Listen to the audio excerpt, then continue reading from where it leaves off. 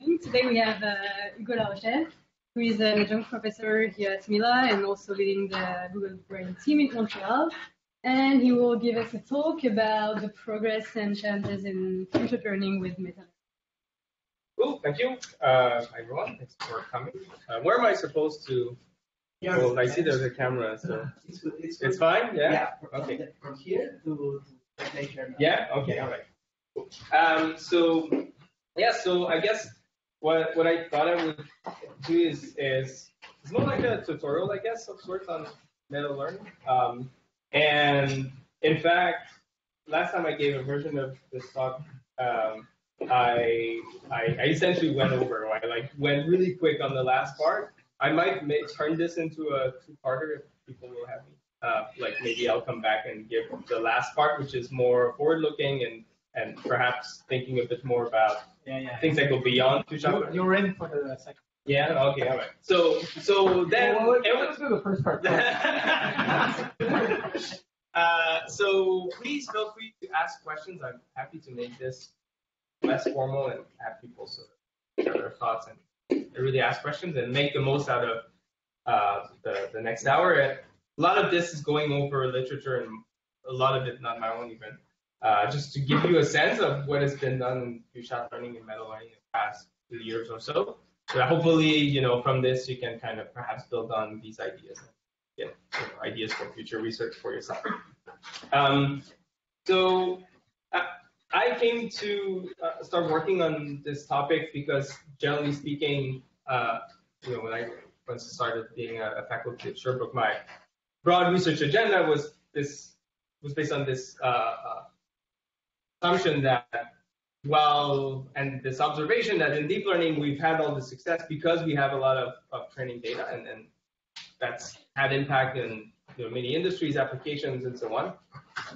But of course, it requires collecting all of that data. And um, the assumption here is that that's not going to be sufficient for us to really reach you know, AI capabilities for all the different problems we'd like to use machine learning to solve collecting you know millions of examples for each individual ability that a system should have uh, is not much more uh, reasonable than say when we were thinking of expert systems many years ago and we would just try to dump as much expert knowledge into a machine for every single ability we want to solve. So and also the fact is that scientifically speaking, we do learn way faster than our current you know machine learning based system. But there's also this kind of gap scientifically speaking, we don't understand and, and in our ability to learn fast and the ability of machines to learn much more slowly.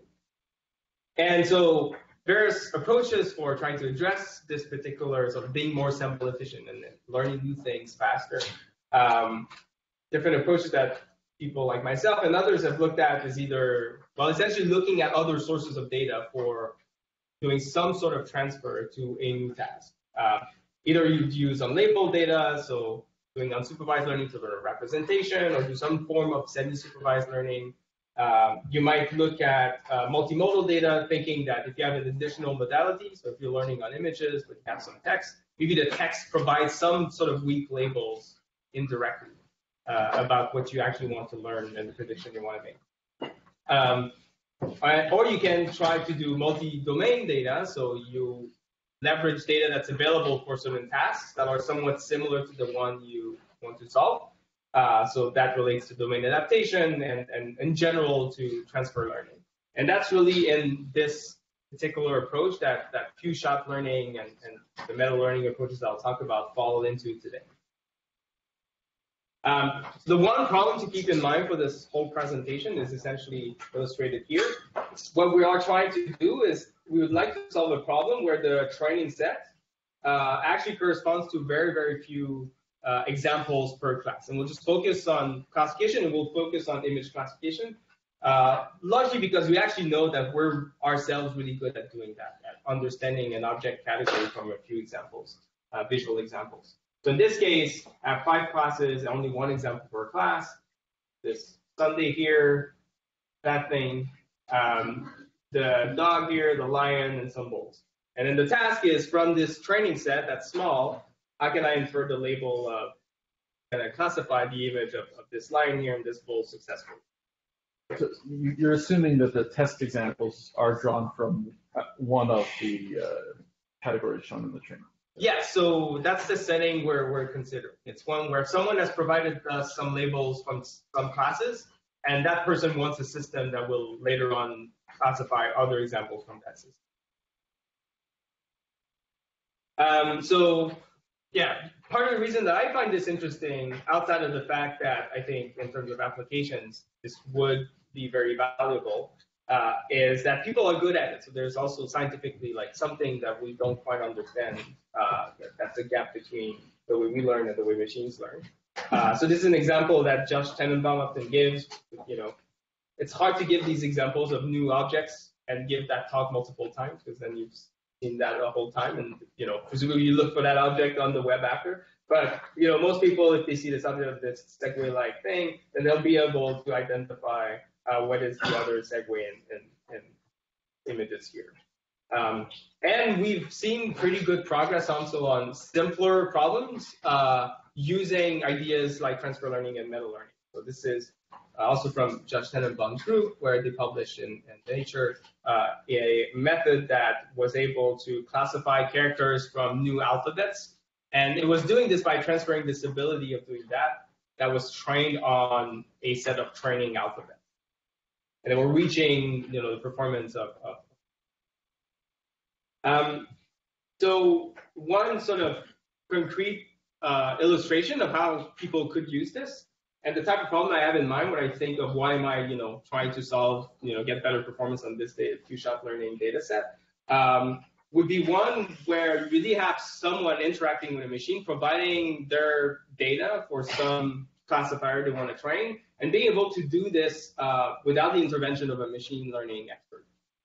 So one example I often give is this sort of little activity I did with my kids where we'll train a uh, classifier from my webcam camera this is on the Teaching um, Machines website. Uh, this is an experiment with Google uh, where you can sort of play with various experiments they put and, and design in the browser. So this is one about kind of teaching about you know what it is to collect data and then how that impacts the classifier. Uh, but what we'd like to do, for instance, is to be able to train a tree class classifier from simple images we would take. So in this case, um, I'll just start the video, hopefully. There you go. Okay, so I go on my uh, webcam and then I'll do a classifier where it's either detecting if I'm smiling, um, if I'm yawning, or if I'm scared. it's the best scared I could do. And I collected images by pushing on the corresponding button, and you can see when I make the, once I collected my data, it gets the problem correctly. But what you want is to, to generalize. If I ask my older daughter to try it out, um, initially. So if she smiles, it always keeps predicting uh, the last class, which is uh, scare. Okay. So then what you'd like is for anyone to be able to kind of collect the data themselves. So in this case, you know, collect images of her smiling, of her yawning, and of her being scared. And then, you know, hopefully then after that, it, it, it works. It works for her. And, and we'd like to want to be able to do this without the intervention of a machine learning person. You know, it should collect data and it adapts immediately so that their other sister uh, comes in, uh, then hopefully it works. In this case, she smiles and then it's green, purple when she yawns, and so it was able to generalize from, from a few examples. Um, in this example, it's there. Are, um, a few reasons why you know it worked. First of all, we tried a bunch of other tree classification problems. A lot of them weren't working, so this was the one that actually like ended up producing this demo from a few examples. But the fact is, most of the times, it, like it requires many more examples. Also, the generalization here that's asked is is a bit easier. Um, you know, they are sisters, so they supposed to share half of my genes.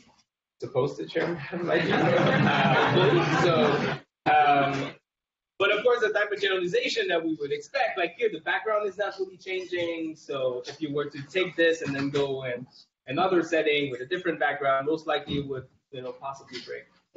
But if we had something that could just work that easily, that anyone could collect images with their camera and they could get a visual classifier, you could imagine this being very useful. And then if you could do this for more than just image classification, again, you know, I think this, this could have a lot of impact.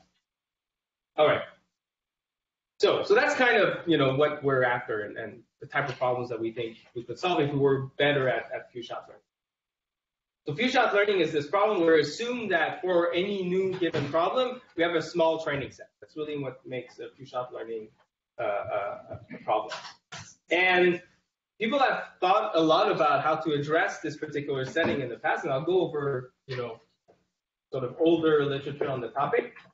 One approach that's more recently has started being uh, uh, making progress and going beyond what people have done before is the idea that when we're doing few shot learning, really what we want is a learning algorithm uh, noting A that produces a model, we'll say the parameters of some model, uh, uh, of some model M.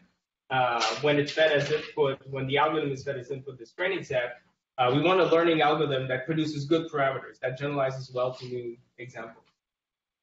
And the approach we'll take in meta learning is we'll treat A as a model that we'll train. Okay, so we will learn the learning algorithm. That's why we call that meta learning. So um, before I go into the various approaches for this, um, sort of talking about related work in that uh, that space. Um, actually, transfer learning, there's been a lot of success already, in particular in, in, in vision and images. We all know that a lot of times, if you pre-train a model on ImageNet, that will give you a good embedding, good representation that transfers pretty well to other tasks, and sometimes surprisingly different tasks, like for cases of, of uh, uh, of, of, things like medical imaging tasks and so on. Um, but often what this requires is you do the pre-training or you take some, you know, you download some model that's been pre-trained already, and then you use that as the pre-training, but you still do a fair amount of work like, you know, potentially tuning the hyperparameters of the learning rate and things like this. In a sense, what we'd like to do here with many of these few shot learning methods is that we don't want to have all of this legwork that happens after where you just take the initialization, but you still need to do things like tweak the model, the learning rates, some amount of regularization, and so on and so forth. We would like that to be as black box as possible. And that whole process of transferring to a new data set to be effectively learned. Um, there's also been, say, yes. But the meta learning is also doing the transfer, the multitask training what to share between all these. Yes, yes. That's right. Yeah, yeah. So we'll do a form of it is especially the stuff that I'm talking about here, it is doing a form of transferring. But I think what we're after is that once we've done with the meta learning, there's no like post sort of tuning of learning rates and things like that. It should just be a black box someone can. Whereas right now, the way we do transfer learning is we download this model, but there's still a machine learning, you know, expert or scientist that is tuning the learning rates for it and so on and so forth. And also with while transfer learning sort of works, often really the success you get is still quite dependent on having a lot of data for the target So there's a lot of literature also on, on one-shot learning, which is this extreme case of few-shot learning. We have just one example. So some of these papers actually, even though they label themselves as being uh, one-shot learning, they sometimes present experiments where they vary the number of, of examples they have for a new task. Um, a lot of that literature actually was, you know, pre sort of deep learning revolution where people were using hand design features for representing images. Um, and so in a sense, what we're trying to do here is we're kind of revisiting that problem, but we're kind of leveraging the success we had with end-to-end learning of, in this case, both the features. So we'll, we'll end-to-end learn the feature representation that's useful for transfer learning. Uh, and also, we want to end-to-end learn the whole process of doing that adaptation as well, as opposed to sort of defining, say, some graphical models that does the transfer learning in some way. Uh, we want to actually end-to-end learn it. All right. So, um, a few definitions. Uh, first, what is a learning algorithm? Since that's the thing that we'll be learning, it makes sense to define that. Make sure we're on the we all agree on what we mean by a learning algorithm. The learning algorithm is an algorithm that takes as input a training set. So some examples X and Y's, where X is the input image and Y would be the class label. And it outputs either a model or say the parameters of some model, which I'll sometimes refer to as the learner. And what we think of a learning algorithm as being a good algorithm is one where the performance of that model that's produced by the learning algorithm is good on some new example, some test set, okay, that is different from the training set. That's what the learning algorithm is. So a meta learning algorithm uh, will be as follows. It will, because it's a learning algorithm, it also takes a training set, but in our setting, it's going to be a meta training set. It's a meta training set because that training set will correspond to many training test sets. So often these pairs of training and test sets will refer to these as, as an episode. And our meta learning algorithm um, is also going to output parameters, but the parameters it outputs conceptually are the parameters of a learning algorithm itself. That is an algorithm A that can take in a training set and then produce a model that can be evaluated on the test set for some episode. And again, in meta learning, we're interested, like a good meta learning algorithm is one that will generalize to a meta test set. Okay. And this meta test set, well, it also has episodes as part of it. That is other splits of a training set and the corresponding test set. And that's where we evaluate our performance. All right. Is that clear? If there are questions about this, and they're usually on, um, please don't hesitate and ask. So, so the output of the meta learning algorithm or the parameter of the of the learning algorithm. Yeah, that's right. That's what you mean by Yes. take parameters theta. Yeah, this is this is meant to be a theta that's different from bold theta or capital theta. Um, but that's right. Yes, conceptually, that's that's that's how we think of uh, meta learning. How we do it. Any other questions? And I want to emphasize that this notion here of we evaluate the performance on a meta test set. This meta test set is really should be different problems, you know, different problems from what you've seen at training time. I think um, you can, yes.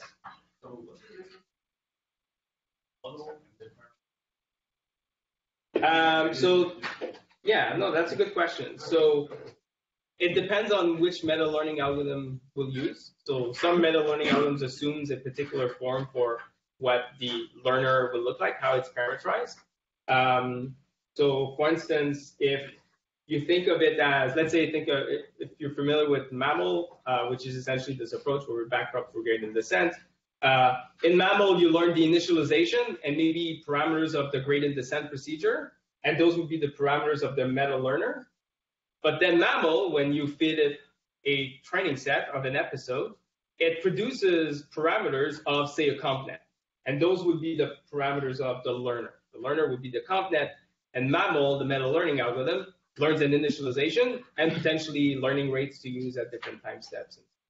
That's where the distinction happens. Sometimes that distinction is, is not as clear cut.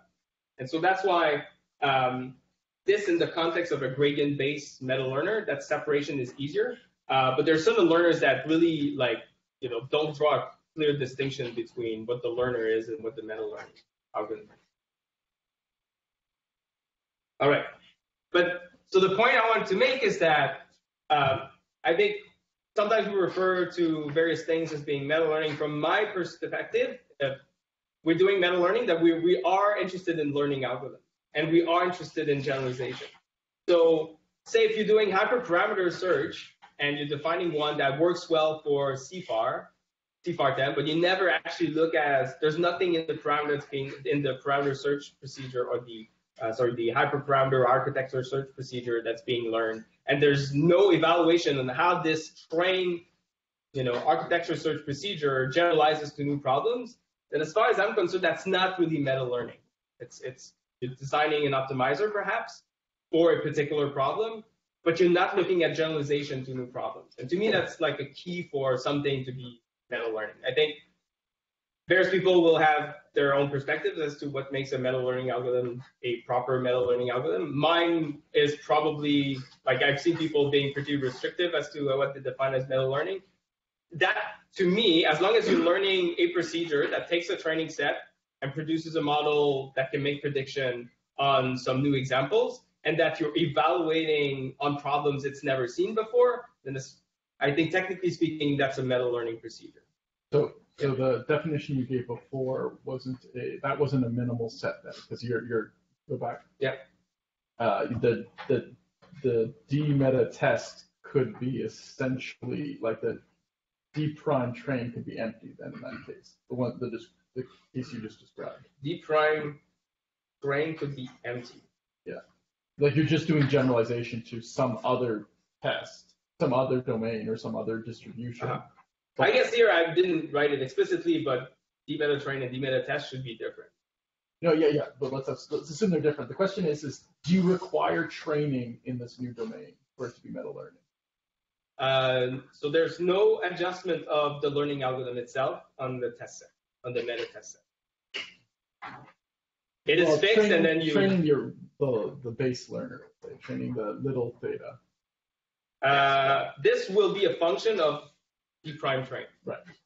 So it changes for each episode. For each episode in the meta test set, it will change. I guess what I'm asking is, do you consider zero shot transfer to a new domain as Uh-huh. being meta learning?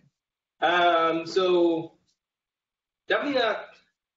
I it's it, it's not quite few shot learning in the sense that we kind of assume here that the training examples are examples.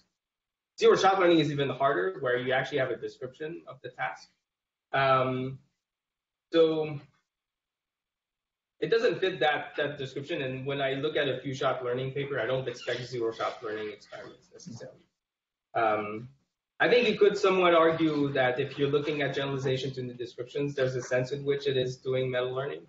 Um, so I might be inclined to include that in the setting of like, as long as you're looking at the evaluation of new problems and new descriptions of problems you've never trained on, then I think, yeah, arguably there is a form of, of learning procedure that's happening, but yeah, I'm not sure. I, I'm not, I'm not sure exactly where I fall.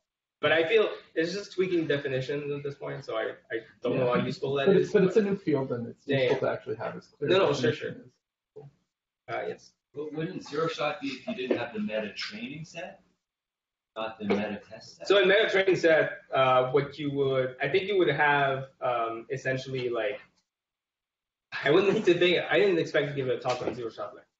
So, um, You, you wrote the paper. yes, but, um, some time ago, I wrote the paper on zero data learning. Um, so I think in this case, normally in zero shot, you have you have training examples. We also have for each class, you have like metadata essentially. You have a description of the class. So here and there, there would be additional data, which is for each class, what's a description of it that is not solely grounded explicitly in images, for instance. Like uh, in some stuff that people do is like they use a Wikipedia article of the describing that object category. Yeah. So I agree that transfer to a new distribution is the most interesting problem. But it, it feels to me like hyper-optimization, even from the same distribution, is meta-learning. Like you're learning how to do optimization of um, architecture to get better generalization, for example. In the same distribution. So you, you are. I think if you resample you the training learning- test sets, You are yes. learning a learning algorithm for that distribution. But, But if you're using the same training and test sets, is that effectively? But, but Then you're not looking at No, because normal, generalization. normal training focuses on the training error. Meta learning allows you to focus on generalization. So for me, it's a, that's where the central distinction is. So I guess um, it is true you're looking at the, say you're optimizing the validation set error on the validation set when you're doing hyperparameter search, and then you're looking at, well, on new examples from these classes. And, but that is not really impressive. I, But that's like the most common thing people do, right? No, because distributions here are over tasks. And I would argue it's the same task. You haven't generalized across tasks. You only generalize across Okay, examples. that's, that's your definition, but. Yeah, it's true. It's my definition. I think I prefaced this by saying, according to me. The word, meta learning, learning to learn. Not sure be restricted to that multi. I- I, guess I'll tell you why I think it's a good thing to define it this way is that it, to me, it means that we're going to be more ambitious as to the problems we're going to be solving.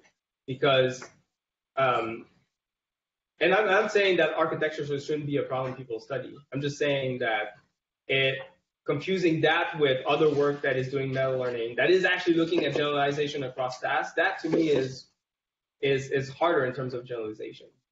And so I think it's it's deserving of its own category. What are the techniques? Um, Yes. I did backprop to learn hyperparameters in 1998 or something. so yeah, but architecture search is, I mean, there's uh, similar. Yes, there's some similarity. Can you give one example of what you consider to be real meta learning, one example you consider to be kind of the same task? Well, I think this, this is the one. So yeah, so if you say Well, according to. Me. According to me, it's not. That's What's uh, the to me name? that's hyperparameter optimization.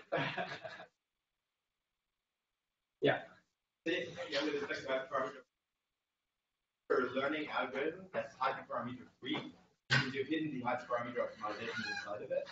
Um, would you consider it a meta learning algorithm? If, if these are different problems, yes. So some people, for instance, have. Uh, I think I think there must be examples of this where they actually have trained some sort of agent that is doing architecture search, um, and maybe it has parameters inside it that, that does that uh, that process. And um, if then they looked at, say, they did they trained it on CIFAR 10, and then they looked at, okay, well, does it find better hyperparameters for CIFAR 100? Then to me, like that's that at least is a form of generalization that, that I think is interesting. All right, so I want to go over the literature a little bit and not just my opinion. So, uh, or Yoshua's. So, uh, all right, so so in this setting where we're doing meta learning, trying to make things more visual, our approach to doing meta learning is as follows. We want to generalize to this problem. It's an episode. It has a training set. It has a test set. And what we're assuming here is that we're going to have, this is like, and we're assuming it's part of the meta test set. And then we're also going to have a meta training set with other episodes. So other splits in training and test. And um, importantly, the way we usually set up, so the way we essentially make this a generalization, the way we make these test set examples different is that we don't just assume they're different images, we also assume they're from different classes. And that's how we're going to have some difference between the training and the test. So, uh, somewhat to Yoshua's point, this is not IID sampling of the training and test set. The test set is coming from a different distribution from the training set. Uh, this is partly, we could do IID sampling if we had such a large set of tasks in terms of classes that IID sampling would mean there would be a you know substantial difference between the training and test set. Uh, but you know, for a lot of these data sets out there, uh, they're like, for instance, Mini ImageNet, it's a total of 100 classes. You could do the thousand ones, but even then, you would end up probably sampling almost, you know, exactly the same set of problems in terms of classes and training tests. But the way these episodes are created is as follows. so initially, uh, for a lot of these benchmarks, for the meta training set, we take a subset of the classes of a larger data set. So Mini ImageNet, which is one that's used a whole lot that I'll uh, refer to often, uh, is already a subset of 100 classes from ImageNet. From that 100 subset, uh, 64 were put aside for generating meta training episodes. And then when we create an episode, the process we do is that we pick a random subset of five classes from these 64, and those are the classes I'm going to use to generate one episode. And then for each class to generate the training set of the episode, we uh, pick randomly some examples from that class for each class. In this case, I just picked one example for five shot classification. It would be five examples. And for the test set, we pick another set of randomly selected but different images from that same class. And then the meta test set in, say, Mini ImageNet is another distinct set of 20 classes from that same, same first uh, set of 100 classes. So that's how we make the problems different. Um, and So, so is Yeah. there a guarantee about, uh, some new classes there or? Uh, you mean in meta test or? Yeah. Yeah, yeah, for sure. Because they're they're so this is It's all 64 classes, okay, and these are other 20 that are not the Okay. 64 classes. Okay, but they come from this hundred set of classes from ImageNet. That's how we construct a meta learning benchmark from an existing data. set. Is, is there some reason why you're only picking sixty-four classes? Like, why not use like almost a thousand and Yeah, the- expect better I performance? think there. This is uh, so Oriol came up with the initial setup. Uh, I never asked him why he did this. I think it's largely so that the problem is smaller. But even though you could argue that even if more classes, you know, I mean, you could imagine that if you have 64 classes, you're going to overfit earlier, so you're going to train not as long, and so that's like a smaller scale problem. I think that's partly the motivation. Yeah, it's because there are too many dots in the class. Uh, and then it would be too similar. Um, maybe I, I'm not sure. Oh, that that might be that might be true. In the thousand categories, how many of them are dogs? You know, I mean, very good question. I'm not sure. Like three hundred. Yes. It's a bit like a Nemo game, like you look at the five first thing and then you have to remember which one that you saw before and you look at your gun. But it's not just remembering which one, because there's also you're not going to see the same image in the test set as you will in the training set. So what's the closest thing you see? You know, and some methods you know, explicitly are doing this, and but they're meta trained in a way that they can do that successfully in an end-to-end way. Using old school meta train. Uh, I saw some models which we trained on ImageNet and then do Oh yeah, so I mean to me that's uh, addressing that's an interesting uh, mention, and I'm gonna maybe touch on that a bit more later. But that's a trick that people use to get a better initialization of a meta learning model, and that to me is is fine. That's like one trick over. It's like you know whatever optimizer you're using for meta learning. That's another dimension in which you should explore. So to me that's more part of like how are you successful at training a meta learner as long as you're showing that you know you actually are improving over the initialization.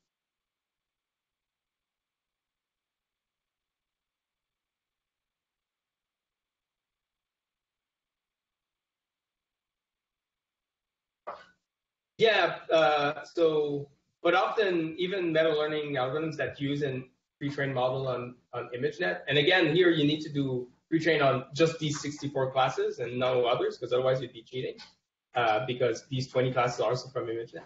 Um, normally they, they, like say for MAML, for, I haven't talked about MAML yet, but I swear I will at some point. Um, so you often use that to initialize the initialization use that's trained by MAML?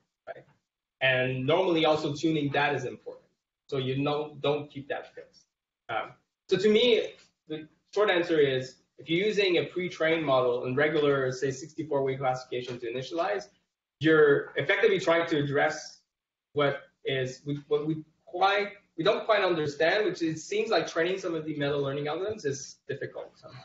And using these initializations that uh, come that are based on the same data seems to somehow improve the performance. Yes. Then we do meta. The meta test classes and meta test are these different from the classes the ImageNet or because if you No, they're also from the subset of ImageNet. cheating and detailing and then It's in um, so I mean if you if you do take a pre-trained model first, uh, you should make sure that pre-trained model has never seen any data from these 20 classes. That's for sure, and that's what people do. Um, now, if the question is, isn't it cheating that they both come from the same, you know, overarching data set? I think what it means is that it's making the generalization problem easier. It's harder than considering the same set of classes but different images, but it's but it's definitely not.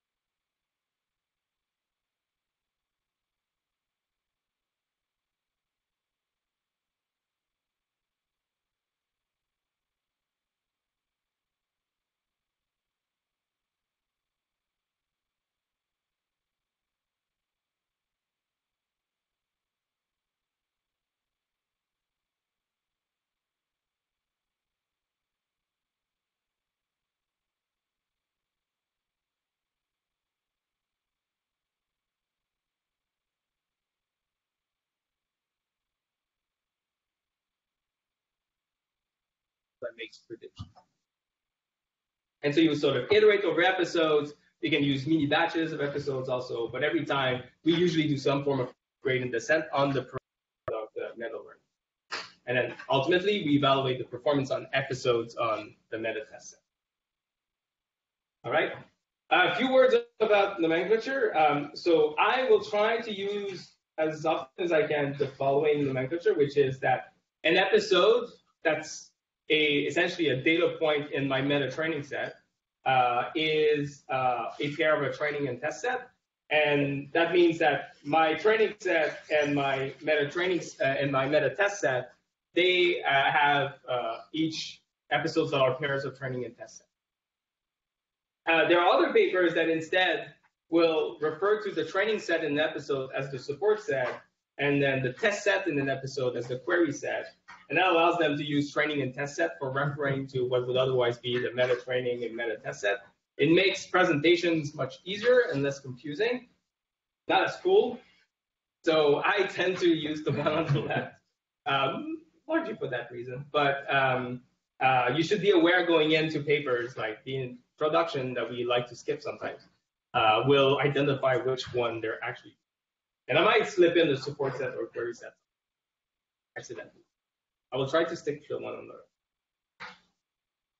right. Um, so in terms of what is typically the loss function we use when we're evaluating the prediction of the model produced by a meta learner on the test set of an episode, uh, often we essentially use the cross entropy loss on the class label assignments you can kind of think of it as evaluating this loss function where you're doing a prediction over the label of some new input x prime i.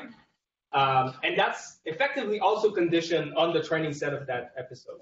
Okay, so the whole meta learning procedure, you can think of it as essentially giving you a way of, of, of a model for this. What is the distribution over the label of a new example x prime? And then you're trying to minimize that uh, average negative log probability. Okay, so trying to assign high probability to the correct class of these new examples for that problem, where effectively that information about what that problem is is provided by the training set in the episode. So the capital theta there was the output of your. So the capital theta is effectively part of the meta learning. That's that's what your your your meta learning. Um, yeah, but one thing is p of capital theta, blah blah blah, as a function of p train is basically it gives you a theta, which gives you then a No, the what is a function of d train was the uh, lowercase theta. The capital theta, that's the procedure that takes in the training set and produces the model. All right. So, in the time that I've left, I will hopefully cover all of this. Um, so, I like to think. So, effectively, once we've defined how you know the our uh, the way we approach meta learning, you know, this episodic framework where we're doing gradient descent over episodes. Um, then what's left is how do we parameterize uh, learning algorithms? So that's kind of the model aspect of it. We, we can think of various ways of defining a learning algorithm that we can backpropagate into. Um, and I like to think of it there being like two types. So again, you know, like most things, the it's hard to put a, a strong threshold between uh, various categories, but I like to think of it as there being two types of uh, approaches. There's one where we will parameterize our learning algorithm by taking inspiration from a known learning algorithm. And we will just take that learning algorithm and we'll introduce new parameters maybe in it, or some existing parameters will, will, will become trainable. Um, and what I'll go over is, for instance, matching networks, which you can think of as try is as taking inspiration from a k-nearest neighbor learning algorithm or a kernel machine. Um, if you're using a Gaussian classifier, and take inspiration from that. A Gaussian classifier in some embedding space, that's effectively a prototypical network.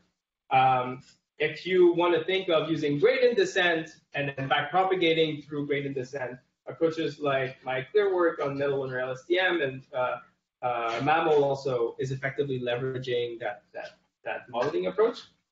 That's one way. And the other approach is just, you know, give up on all of our inspiration or all of the prior art on learning algorithms and just be like, let's throw a neural network at it that we know can get can, can take as input a set and can make predictions on new examples. Doesn't matter if it's close or not to a learning algorithm, we'll, we'll just define a TensorFlow graph effectively that takes in a training set and can make prediction on a new test example. And it's train it to become a learning algorithm, to make new predictions successfully on new examples. And the examples of that are uh, man and cell, which uh, I'll talk so let's talk about the first category. We'll take inspiration of a known learning algorithm. the first one, uh, which is one of the early papers that uh, in particular proposed the Mini ImageNet benchmark, which people use a lot now. Um, it's effectively training a learning algorithm that just that does pattern matching. That is, what it does is that it uh, it will take the training set here. It will have an embedding function that produces a particular representation of each of these examples. We also have a potentially different embedding function that takes in a, a test example in the episode. These will be compared with some distance function. And that distance function will determine a weight. So this is the, the ultimately with that distance function, we will obtain a normalized weight over uh, that effectively determines how each training example in the training set will vote uh, and the weight of its vote towards its own class assignment for this test example uh, x hat.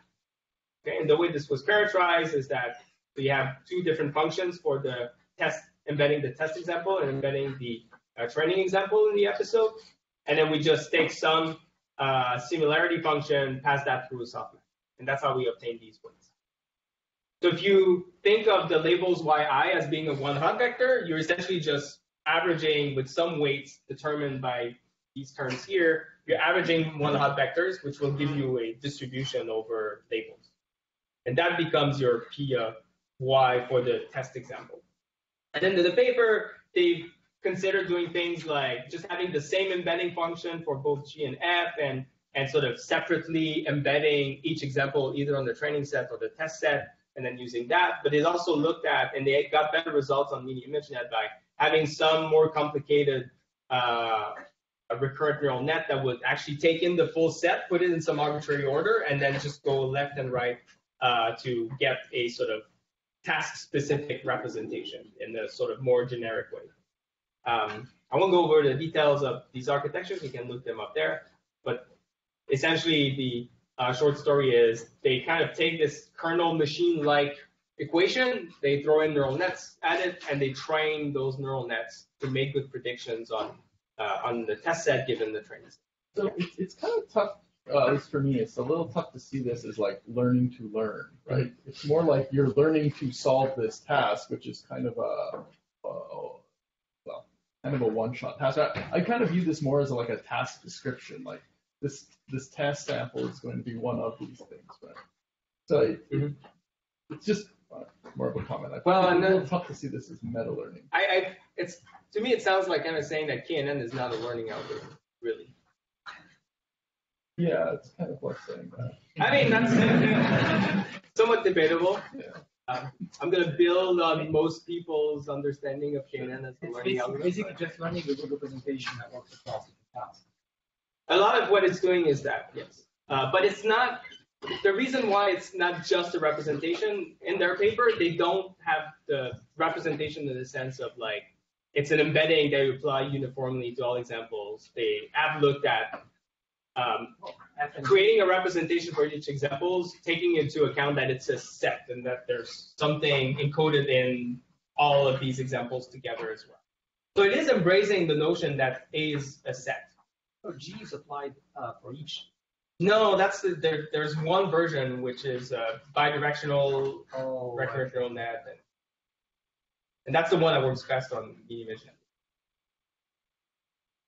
In that sense, it's, it's really learning an algorithm. That's right. Yes. I think to answer uh, Aaron's point, it's just that KNN is basically the simplest learning algorithm where you don't think it's learning. Well, there's like, if you think of like a learning phase and an evaluation. metric Yeah, but like you, it's loading. Yeah. Loading the example. Yeah. So that's learning. So you know, if we can't agree on this, then there's no point in uh, you know, that that will have repercussions as to what is meta learning and what isn't.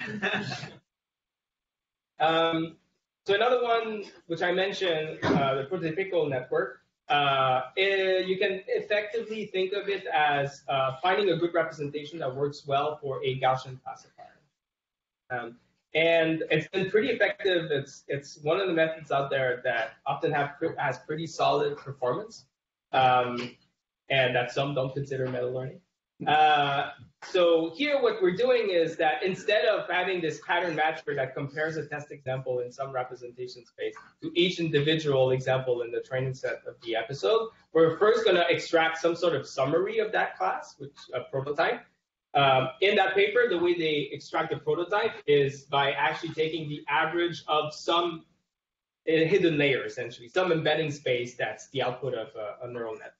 And that's going to be, if you do this for all examples in class K, that's going to give you the prototype CK. Uh, and then to get a distribution over the label of a new example X, you will compare the embedded test input with the corresponding prototype of each class and uh, calculate the distance, take the negative distance to get a similarity, and, and pass this through softmax. Okay, so that's like really, really simple, and, and that already gives pretty good performance. And the way you can think of it as, as meta learning is that you're learning a representation that works well for a Gaussian classifier. Um, it's, it's true for a Gaussian classifier if the distance function is the uh, squared uh, uh, L2 distance. But you can use other distances.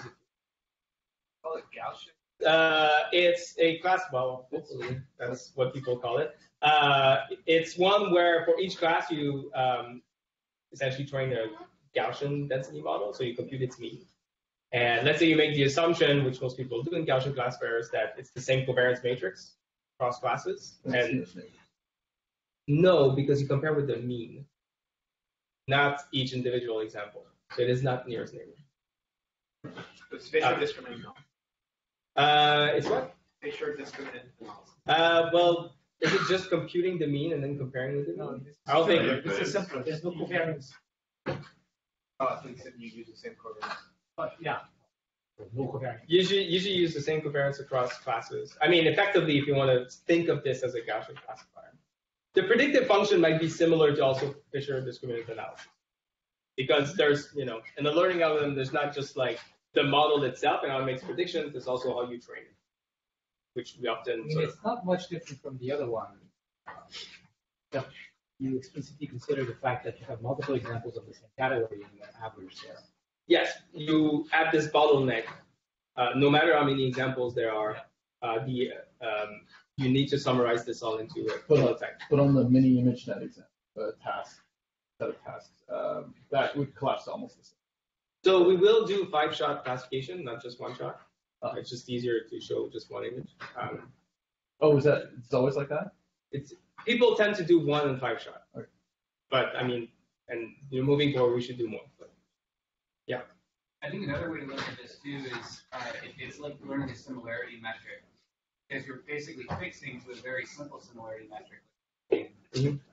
Yeah. Corresponds to your Gaussian. But by learning that, you're you're learning a, a projection that Right. implements an arbitrary similarity.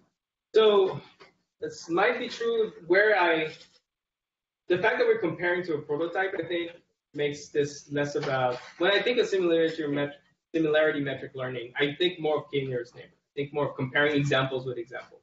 Whereas the prototype here is sure living in the same dimensional space, uh, but you're comparing, you're learning a representation such that prototypes and test examples are comparable. Um, right, so you're learning a similarity metric not to compare points, but to Yes, compare that's right. to the, the Yeah, I think you can think of it this way. All right. Um, a few things to say about this. So, yeah, the distance function actually can be anything, but if it is the uh, Euclidean squared, you get the Gaussian classifier. Um, and this idea of just assuming at the top there's some learning algorithm that is doing something like a Gaussian classifier computing averages across classes and, and giving you a predictive function this way. Uh, but you could replace that with any other classifier that you can backpropagate. It's just a Gaussian classifier because it's just computing averages. It's pretty simple. People have looked at assuming it's actually a um, least square classifier, so one that essentially treats classification as a regression, linear regression problem. This is an submission, for instance, here, uh, meta learning with differentiable closed form solvers, where they and in general, they're making the point that if you have a closed form solver of the learning algorithm, you can backpropagate through it. So uh, you could do something else more sophisticated than that. Um, and that is an interesting direction. I, I don't know to what extent uh, there's like a whole lot of other classifiers we could backpropagate to, through at this point, but So what about not propagating through, like, are people looking at reinforcement learning methods where you don't want to backpropagate? Um, I'm not sure. I can't think of an example right now. I mean, the answer, given how many papers are sent on arXiv these days, is almost yes, but but I don't. I can't point you to one paper. It's not a uniform distribution. That's true. Uh, but uh, so I, I- don't have one reference that I can give you. For me, I mean, like, do you know if people tried and it didn't work? I would be surprised if it didn't work because I think there's a lot of value to doing like gradient descent end to end. Um, maybe if you pre-train in the regular way, it's possible that some RL-based fine tuning would be sufficient. I mean, one problem with backprop is if your K is large, for some reason, like a thousand. Uh, K being the number of steps. Shot down. Okay. Or number of steps of, of uh, Gradient descent. meta. Yeah. Well, yeah. Then, for sure, backprop is even going to work. Um, oh, we'll talk about MAML in a few. Uh, oh, I'm just gonna say seconds, but it's gonna be minutes. Uh, but um, um, I think I think that I think it's worth investigating, but probably you want a good first pre-trained model, I suspect, for this to actually. Um, what's interesting also is that in the prototypical network paper, they actually get better results by training on more ways. So if they're, you know, in all the examples I've shown, it was always five-way classification. So way is the number of classes, shot is the number of examples per class. Um, in the experiments, they showed that if they train for 20-way classification, they meta train for 20-way classification, but they evaluate for five-way classification, they tend to get better results, uh, to get better results.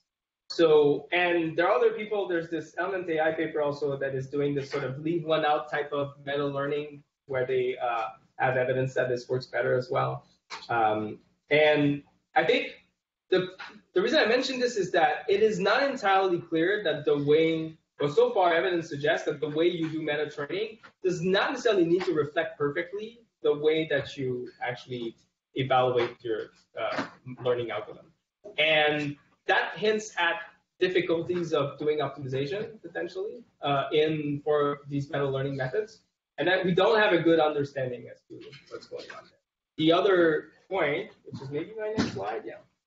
So another extension of prototypical network, um, uh, another paper by Element AI appearing at NIPS this year is extending prototypical network by making the embedding function that you apply on your examples um, be a function of the training set or support set of the episode. And they do this essentially using FiLM. They take the set of support set examples, the training set, um, and then they, I think they get prototypes uh, in the regular prototypical network way, but then they average the prototypes themselves. Um, and there's got to be someone here who knows this more than I do. Uh, David, maybe. So correct me if I'm wrong. No, you don't? Okay. Sorry. uh, well, that's great. Then I can say whatever. Uh, so the task, so that gives you a task representation, the average of the, huh? Oh, shit, that's right. uh, and then you, uh, and then you take the prototypes. The task representation is the average of the prototypes, and this is fed, into a network that produces the, as in FiLM, the sort of bias and multiplicative factor uh, that will now be gating, uh, I believe, the same uh, embedding function.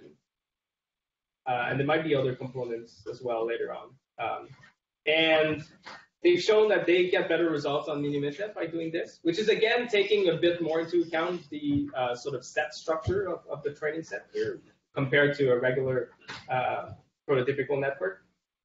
And they also show that when they do this thing where they both train the embedding function to be useful for a regular 64-way classification and do this episodic training, that they get better results. They don't do it by just doing pre-training and then initializing these weights to just a regular meta learning procedure.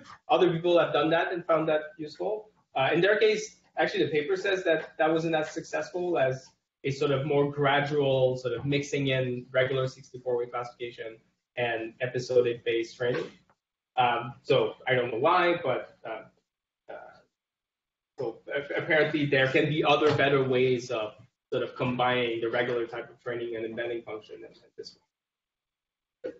Um, all right, uh, what else? So, Hugo, yes. Can you mention?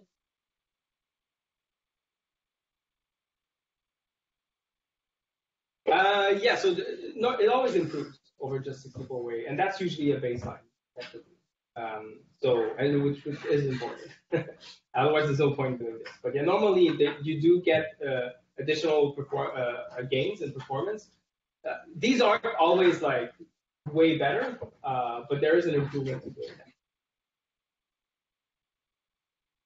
Um, also, there's an interesting view of uh, prototypical networks where if you're using the squared Euclidean distance uh, uh, when you're comparing prototypes and examples, you can expand that into essentially an expression which is the embedding of the test example times the prototype because it's a squared function and you can expand the term. And then uh, then there's a bias term which is essentially the prototype times the prototype, so the, the squared norm of the prototype. If you think of these effectively, you can think of these as the output bias and weight for that class. If you were using the embedding as the rest of the network, it's kind of like prototypical networks are just producing the parameters of the output layer of a network with a softmax output. Uh, and other people have looked at generalizing that effectively and actually have a network producing, say, convolutional filters directly of a, a neural net. So this 2016 NIPS paper was doing that. Um, fortunately, it's developing a different set of problems, but but had some good results. Um, and so I just want to put it out there that the one approach is to have some neural net that produces parameters, not through gradient descent or anything like that, but through some differentiable function. Um, and there's also a relationship with graph neural networks. So some people have just thought of the training set as a essentially fully connected graph and using uh, graph neural networks to propagate the labeled information of the examples in the training set towards producing a prediction of the label for a test example that would also be part of that graph but wouldn't have its label. Uh, this was an IQ paper uh, earlier this year, which you might want to check out. I won't go into details, but that's another, if you're doing graph neural nets, there might be interesting applications here in the subnet. All right, and then the, I think probably the final thing I'll touch on um, is the other approach for designing a meta learner, which is to um, uh, take inspiration from gradient descent. Um, so the idea here is to kind of notice that when we're doing gradient descent, which is the sort of almost universal algorithm we always use, almost to fit the model to a training set, what we're doing is that we have a set of parameters, and then we're updating it using this linear equation that involves the gradient of the training set examples with respect to my current set of parameters. And that gives me the next value for the parameters for that task, and then I iterate this some number of times. So in this paper that we published at ICLR uh, 2017, we kind of made the connection between that and what is the latent, uh, the cell state of an LSTM, where LSTM also does these kind of additive updates of the cell state, uh, where the cell state is multiplied by forget gates, and then you add to this a contribution to the cell state multiplied by an input gate. And if you think of if the cell state contribution was the negative gradient in some parameter space, and if the input gate was the learning rate, and if you didn't have a forget gate, then you recover the equations of, of uh, gradient descent, which essentially suggests that we can unroll, like we unroll recurrent neural nets or LSTMs, we could unroll gradient descent updates and backpropagate through them. And in our case, we tried to stay as close as we could to the LSTM setting, where we have LSTM where its cell state is as large as the number of parameters in my model. Uh, so for ImageNet, this would be a ConvNet. And then I have these input gates, and these forget gates are effectively producing a learning rate for each of the parameters. And we also kept the forget gate thinking that they might apply some form of regularization. So if it's shrinking the parameters towards zero, that, that's kind of like, say, weight decay. And then we can unroll this. Don't want the n squared parameters. That's right. But what we do is that the set of parameters that produces the learning rate and the shrinking, the forget gate for each parameter for each parameter of my ConvNet. Um, so that LSTM is the same across all parameters. So you can think of it as it's learning the same optimizer that's applied across all parameters of my ConvNet. So there's a form of parameter sharing going on effectively. Um, also, what we will do is that instead of using as the initial starting point of my gradient descent, we'll actually learn it. So this is like the initial cell state C0 here. Uh, so in the context of meta learning, that's theta zero. Theta zero will be learned. So we're going to learn initialization such that after a few steps of gradient descent that is modulated by an LSTM, we're going to reach a model that has good generalization on the test set of the episode. Is there another set of people waiting and then no? Um, thank goodness. Um, so that's sort of the graph view of what I've just described. You have this LSTM, this meta learner LSTM that um, at an initial state, the initial parameters of my ConvNet theta zero looks at what is my performance of the support set or the, the training set of my episode, uh, produces gradients that are fed to the meta learner so that it can produce a new suggested value of the parameters of my ConvNet, my model. And then I evaluate that, evaluate that again on my training set, and I do this some number of times. And then ultimately, I look at what is the performance of the test set of the episode, and that's what I that's the error that I backpropagate through this whole chain of, of this whole unrolled graph of the LSTM. Okay.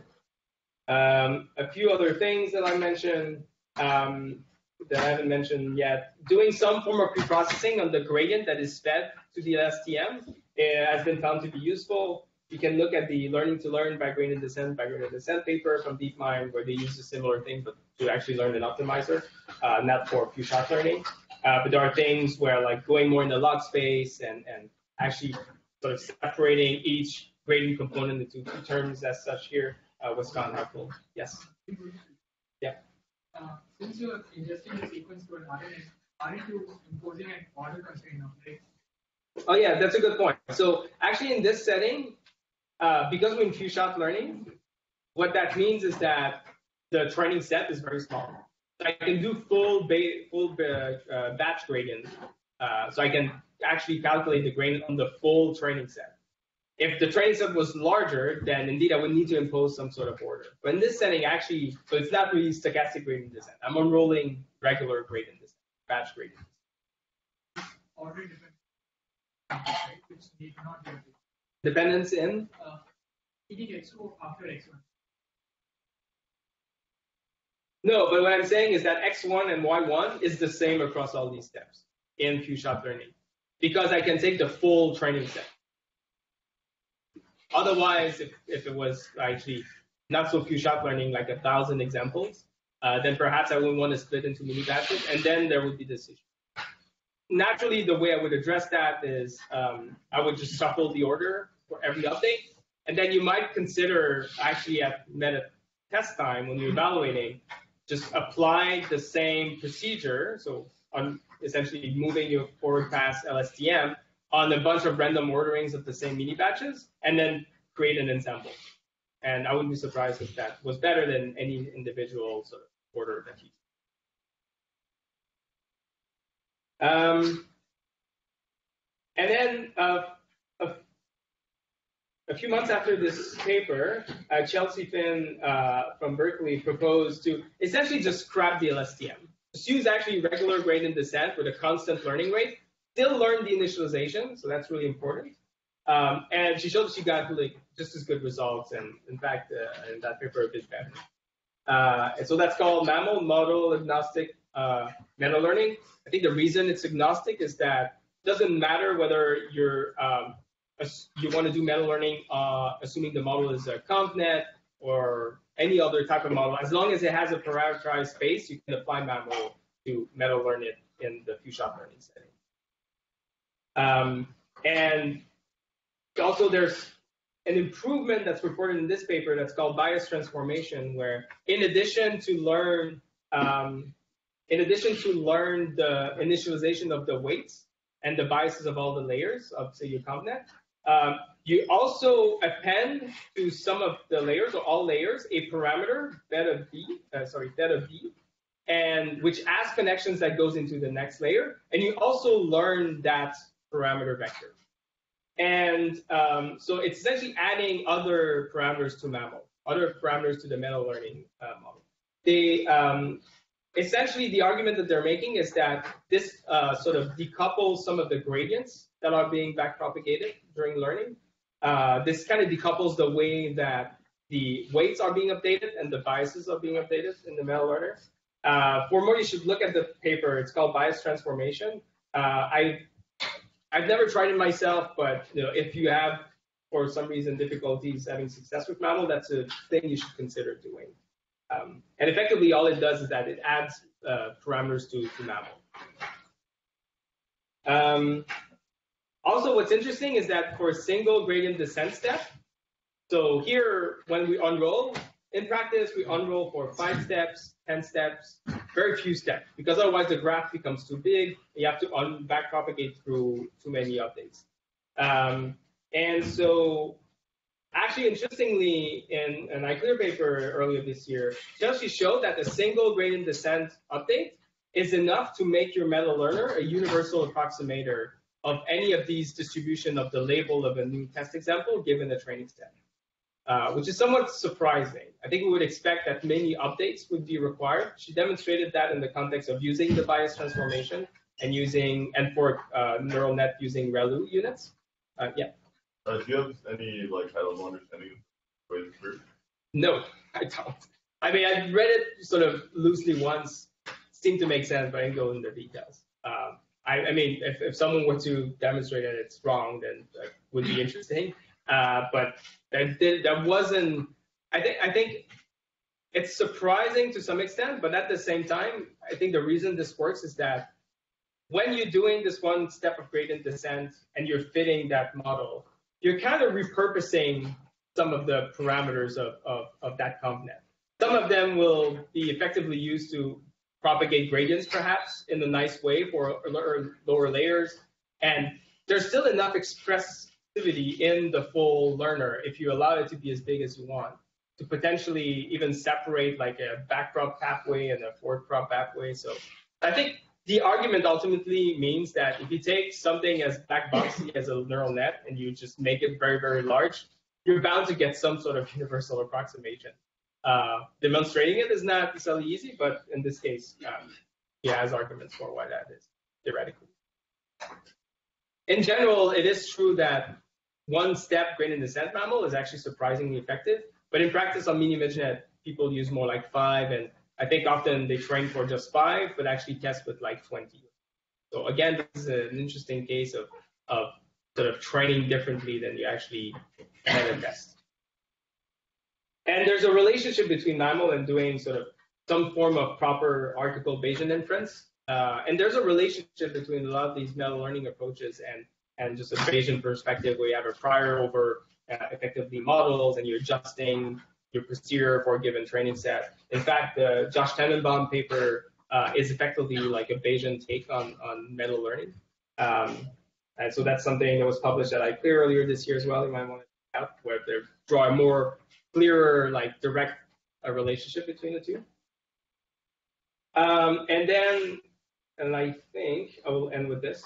Um, and recently on arXiv, and that's a submission at uh, uh ICLR uh, 2019, um, people have tried to sort of uh, investigate various variations of MAML uh, that seem to stabilize learning. So MAML is, is, in general, it takes a lot of memory because your graph actually has multiple copies of the model when you unroll gradient descent steps. So that's one thing that's annoying about it.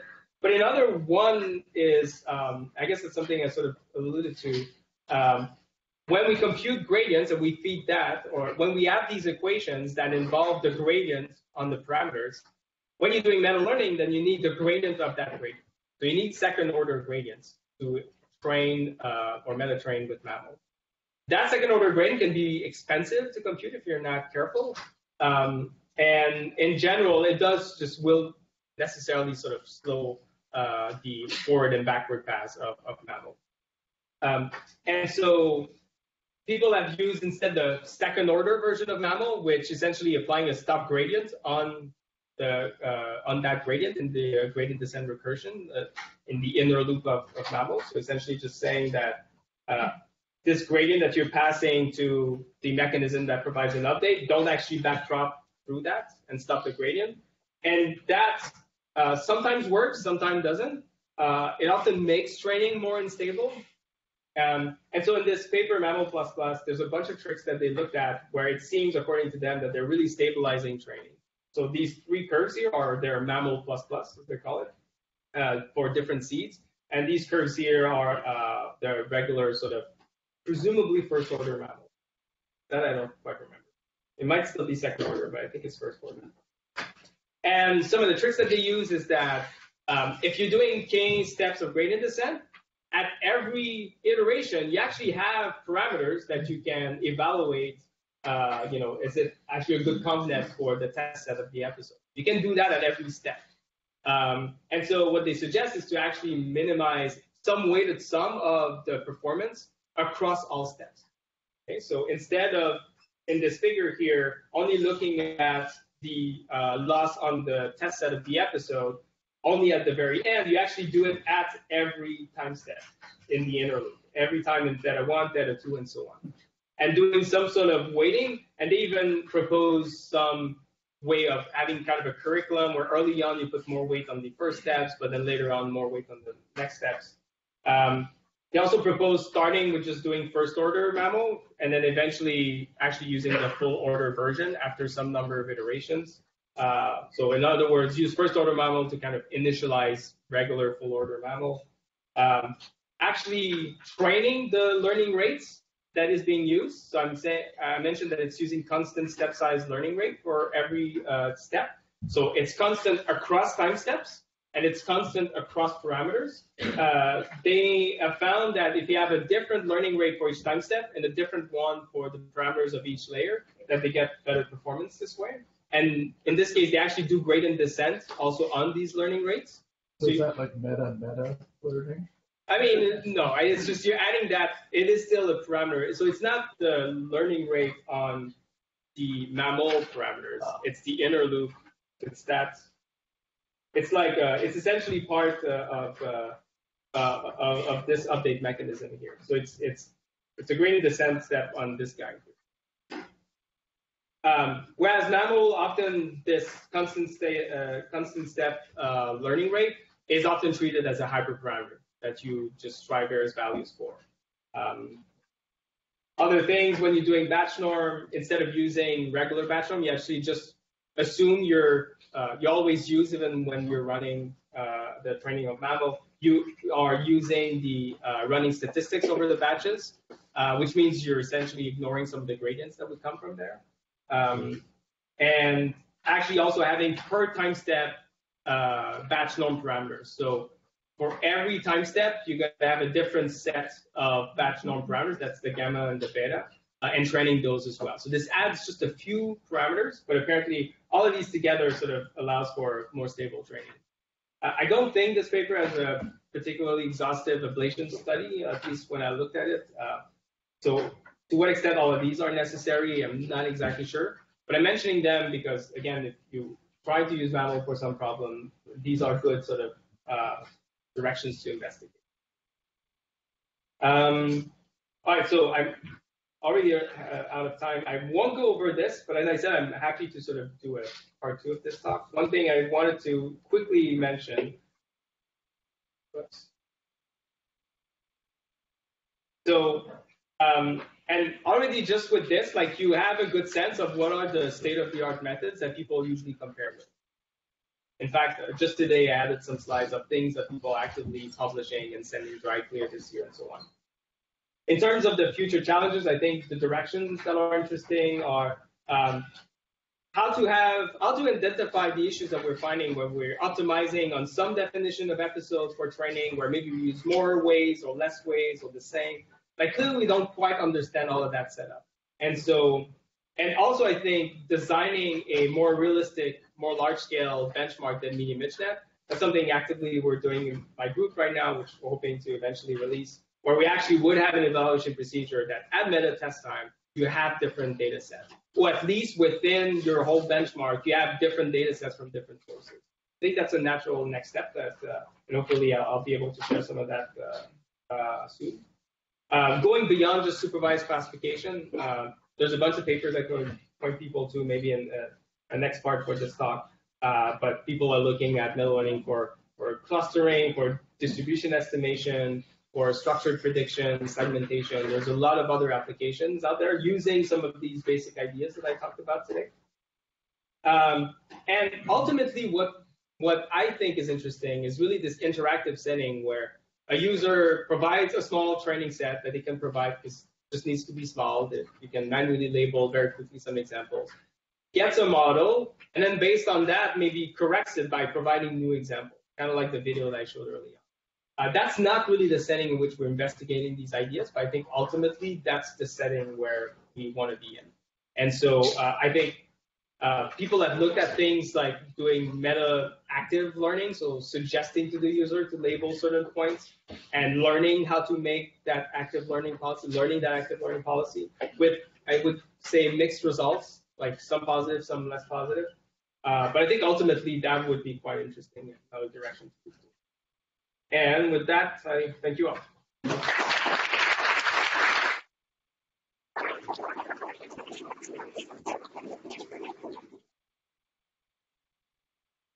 Party organizers. Should I let?